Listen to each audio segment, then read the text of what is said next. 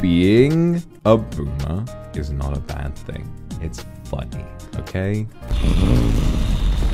You see, you see. This is why I made my tweet a while ago and why I started this. This, this is why, because it's so easy to kind of get under your skin. You just say I one thing and she's like, she's like, and I just.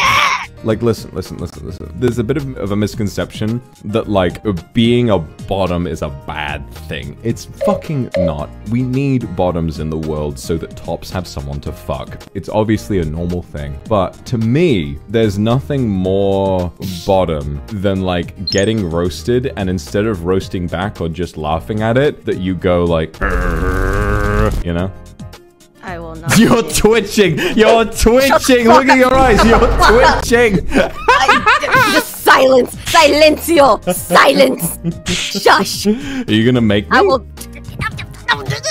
I will get you. Okay, d- See, I you, need to see- you tell see you. what I fucking mean, Chad. You You see Silence. what Shush. Shush. Shut. Shut the.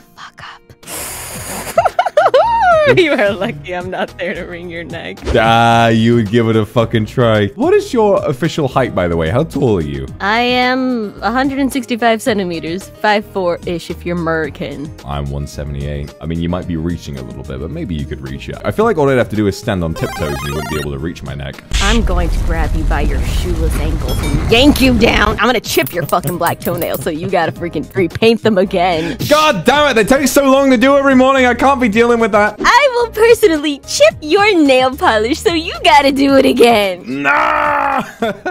oh.